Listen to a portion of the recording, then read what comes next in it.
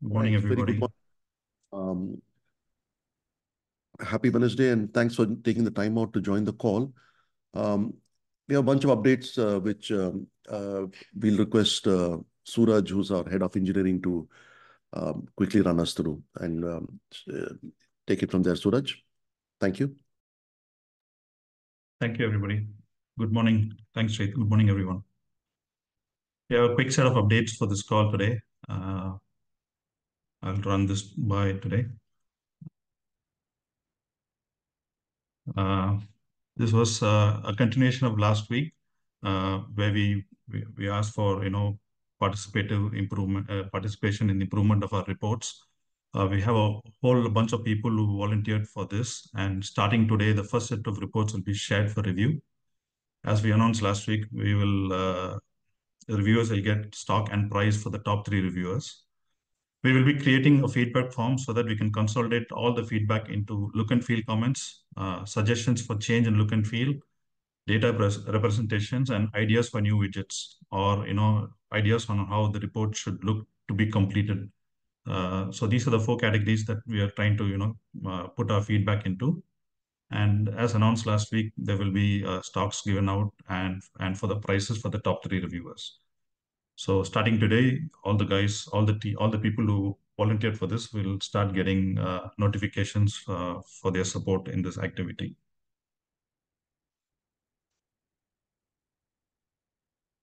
We had a quiet week this uh, last week. We are trying to fix issues that have been and closed a lot of tickets. Um, basically, we looked at different tabs, different subsystems, Uh, including infrastructure and fixing up issues that keep cropping up.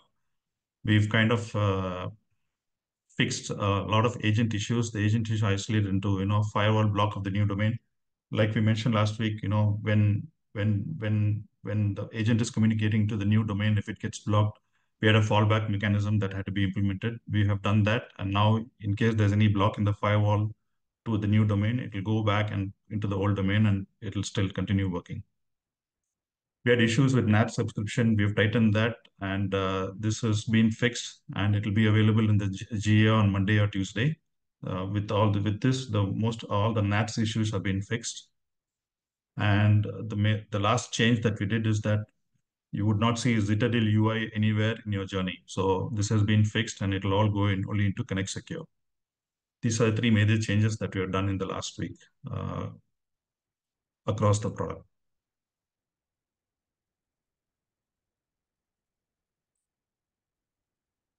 I'll just go through some of the some of the changes that we have done.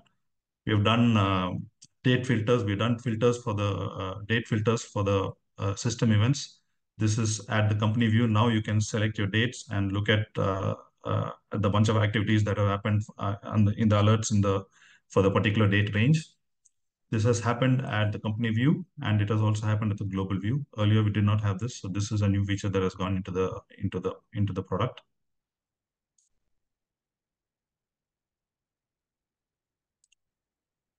In addition to that, we added a filter for the vulnerabilities in the global view. So right now, if you go down into the uh, into the vulnerabilities, you can select by different vulnerabilities, and you'll get a filter. This, we've done it at a global level, and we've done it also at a company level. This should be available in the product as of now. We also added, uh, if required, you want to scan a particular interface for Nmap, we also given the option of adding a particular Nmap interface for uh, in the discovery settings. Uh, this is not a mandatory requirement, but in case you need to do a particular Nmap interface scan, you have the option to do that now.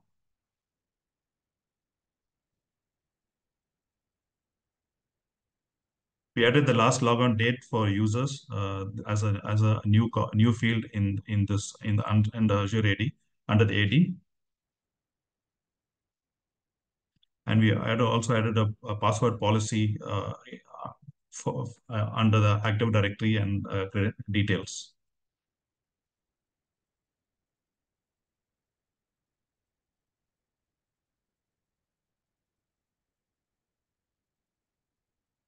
We are we are also added filters to filter off online and offline agents. Under lightweight agents, you can now filter and you can filter uh, online versus offline. Uh, so, some of the features that are being uh, tested under QA and will go out the following week.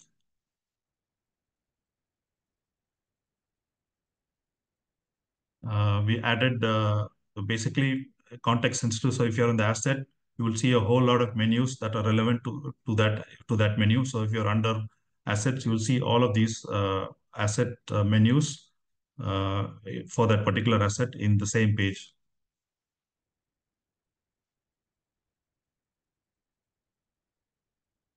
Similar thing, uh, you can now select and you can you know scan a remove asset under under the under the under the under asset view itself.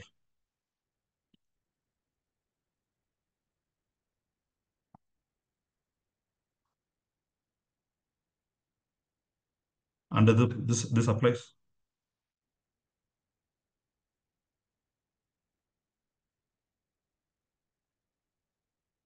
So under the uh, under the solution space, so under the assets and solutions, you have all the all the menus available locally within that particular uh, view itself.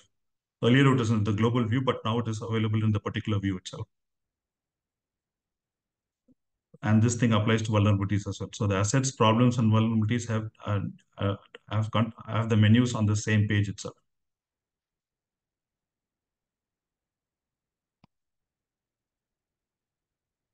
Um,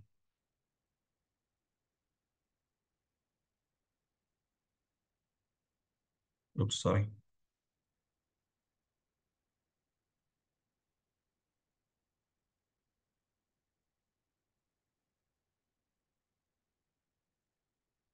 Yeah. So going back, yeah. So under now under vulnerabilities, we have the same. Uh, the under the global actions, we have the vulnerabilities. We have it in the same vulnerabilities page itself. So you don't have to go to the globals or global view all the time.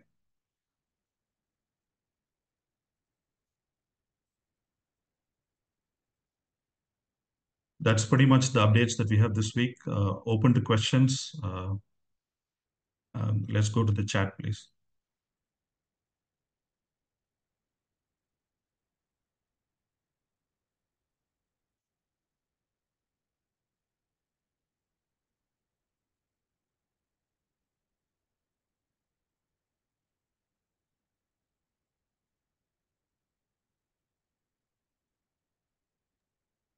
Uh, Suraj, you want to take the questions in chat? For example, Mark has a question that when will V4 be available for on-prem and uh, yeah, others. So, so you, Swami uh, can answer those. Yes. Hold on, please. So Mark, uh, the question on uh, agent, uh, next agent will be pushed. We, we are looking at, I just want to update you on, if you look at it, we are working on uh, version 4.2.8 these are the areas that we are working on. Uh, this should be available. Uh, I'll, I will come back to you on the date when we're going to push these agents, Mark.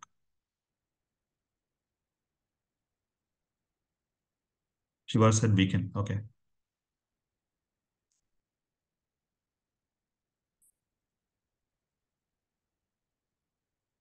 When will V4 available on-prem? Uh, this is work in progress. Uh, I'll have to come back to you on the date on this, Mark.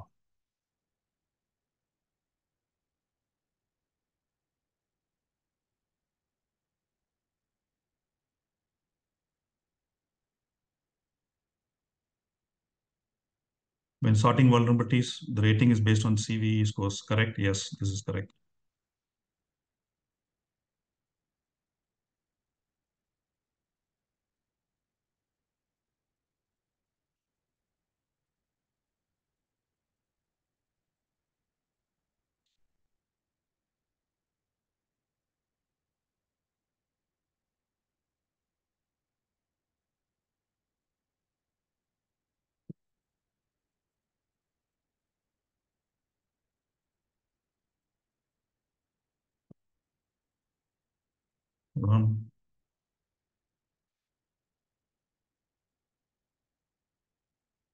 Going back to when will external scans to IP address be working again?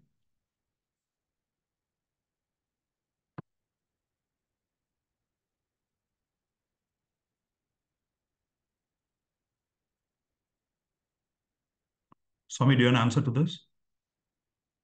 Uh, we are working on that uh, multiple process capable of uh, revamping that services. Shiva sir, and we are getting that done today or tomorrow.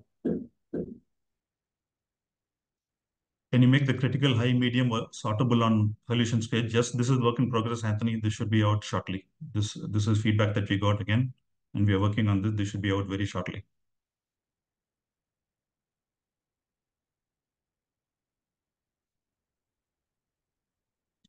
Are there any plans to implement approved, disapproved software in addition to mandatory? Would like to we would like to have flags app permitted, but not necessarily mandatory to be installed. Thanks for the uh, input, Ben. We will look at this and uh, add add this to the roadmap.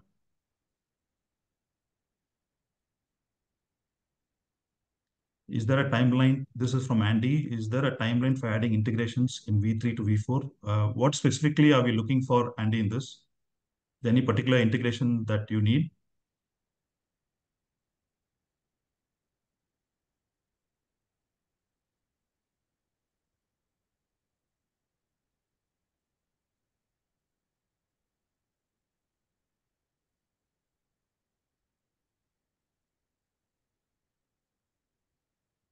Is any script uh, for push this agent to remote endpoint? Uh, Swami, you have an answer for this? Is there any script to push the agent to remote endpoint? So, uh, Kuram, you are using any RMM tools or uh, you simply asking using any PowerShell script or something like that? Can you come on, please?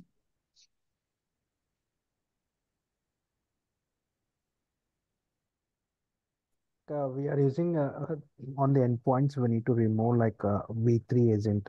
So at current present, we are saying both the agents are running. So uh, how do we uh, remove the V3 version from the systems? Uh, yes, Kuram. So we are uh, we are validating that script, so it is almost ready. So I think in the next uh, release, uh, we can be able to re uh, release the action button inside that agent itself, so that we can list that all V3 agents and you can just click stop running and uninstall. You can send it from the UI itself and that can be done through the script. All right, Swami, this is a forum actually. We, uh, he's uh, my colleague.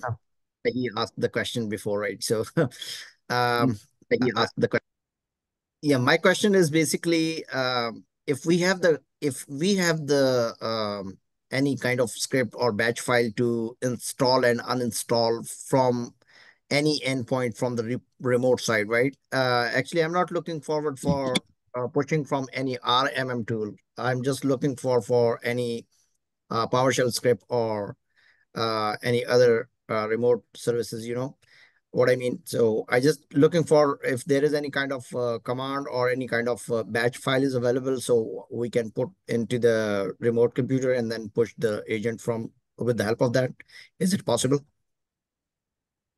So you mean to say uh, you want to push that uh, V V4 agent to the end, uh, remote endpoint, right? Yes. Uh, uh, that I'm not sure about it right now. I can uh, get back to you on this. See, uh, in the remote endpoint, if you can able to uh, connect from uh, the central site, so you can able to run a batch script, uh, which has like whatever the current download script is there, right? The PowerShell script. So that has a clean download URL.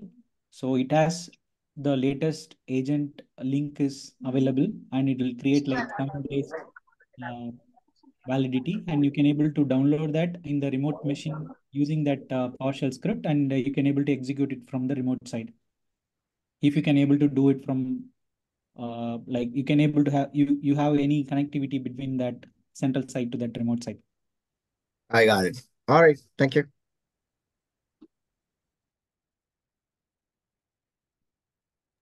Uh, Kuram, uh, you you got the answer right. So it'll be from the UI.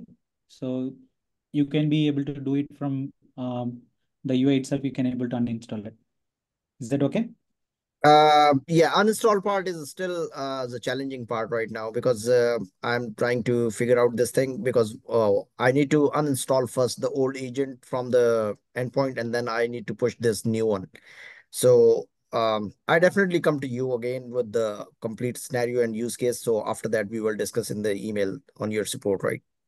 Yeah, definitely anytime. So you can send me a mail. Uh, we'll be happy to help you uh, migrating from V3 to V4.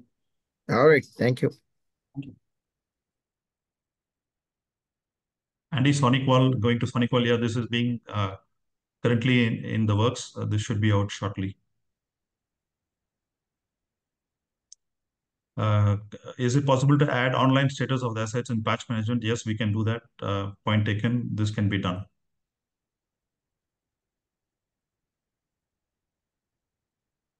Uh, Krishna, I think we just answered that. Uh, yeah, Mark has already added, uh, responded to you. Good, thank you. Yes. Do you have a published roadmap for all these new features, etc., that we can monitor and have a better idea when something will be implemented? Yes, Mark, yes, Michael, we can definitely uh, uh, have something published uh, on all these fe uh, roadmap uh, features that have been requested from from the partners. No problem. We can publish that.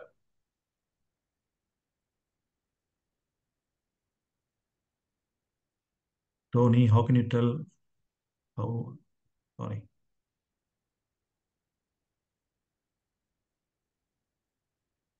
There's a Tony, uh, how can you tell how you identify vulnerability when in the old version there was a place where you could go and go the go could go that list with the registry value you used.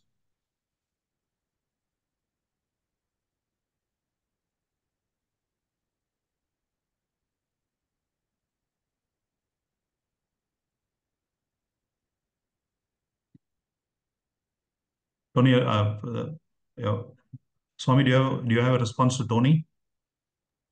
Uh, we have that uh, uh, registry uh, key, uh, which key we are uh, identified, and based on that, this vulnerability is um, active, and that information is already available in the section, um, affected asset section.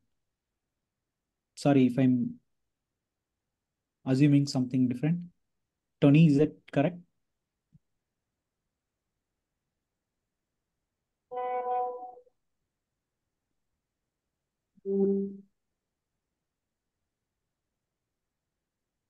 Uh, we can move on next question. Okay, all right. Is there a timeline for firewall integrating WatchGuard and Fortinet since Meraki is already in place? Brian, uh, WatchGuard, net, and SonicWall are being tested now. They should be available very shortly.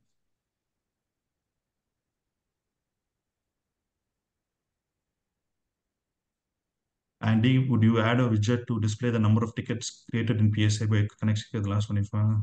Uh, this can be done. Uh, we'll take it as a feedback and work on this, uh, Andy.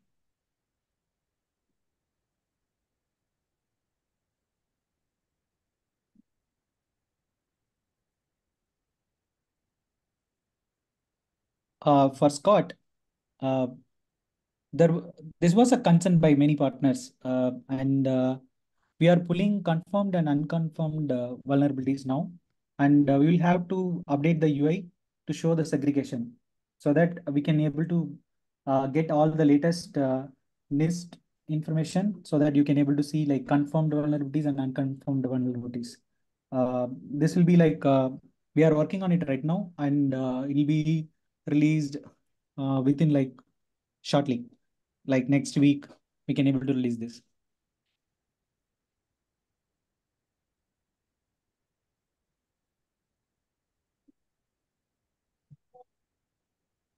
Chris, uh, what is the status of on-prem Compare? It's been a few weeks away for several months, starting to feel neglected. Uh, we're sorry you feel that way. Uh, I will definitely come back with you on a date for this.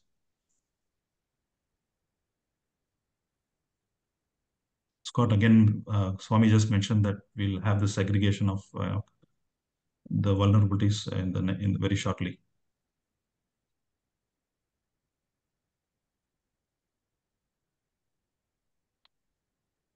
Enrique, good morning. We had an issue last week where we patched Edge for a customer and the browser clip became useless. We had to do a script in RMM to install Edge again.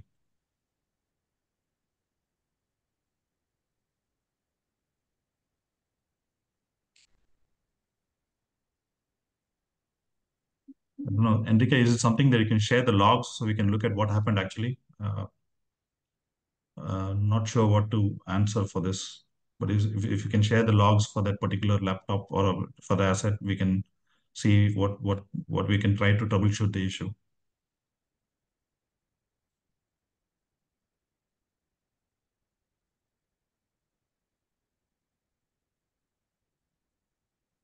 Alex, yes, like I mentioned, all of these are under testing right now, and we should be able to add it very quickly.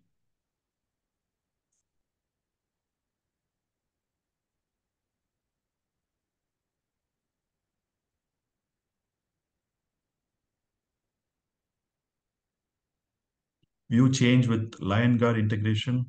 Um, Andy, this was uh, this is we can add this to the roadmap right now. We don't have this. Uh, if you require any help from you on this, maybe with regards to an access to Liongard, we'll come back to you. But your point taken, we'll add this to our roadmap.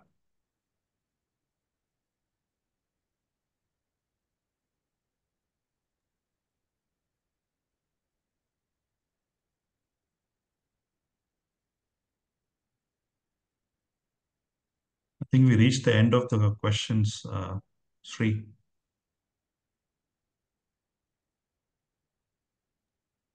And uh, sorry, folks, really uh, for the on-prem versions delay.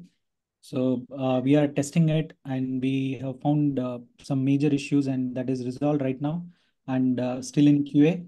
It'll be released shortly.